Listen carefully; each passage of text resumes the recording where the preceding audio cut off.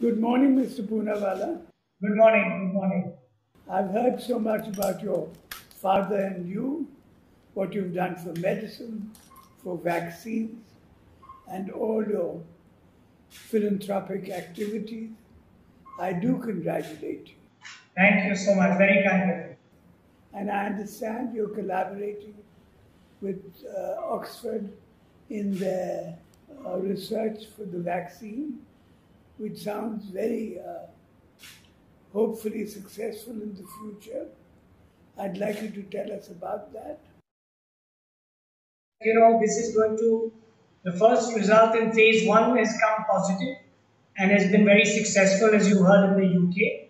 And we're going to do a Indian licensure study starting in August. And with the drug controller's blessings in Delhi, we should start that in the next two weeks, followed by a two month follow up study. So by October, November, we hope to have the vaccine launched in India. Mr. Poonawala, in Orissa, we have the lowest uh, fatality rates in the country and also the greatest amount of recoveries from those people who've been infected.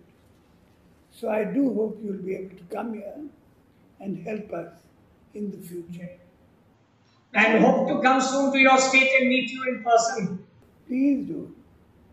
Thank you.